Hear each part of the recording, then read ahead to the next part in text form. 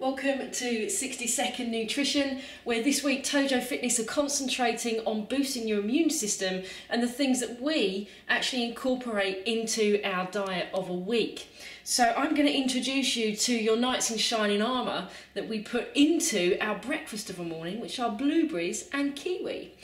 So blueberries contain flavonoids, which are really good for boosting your immune system.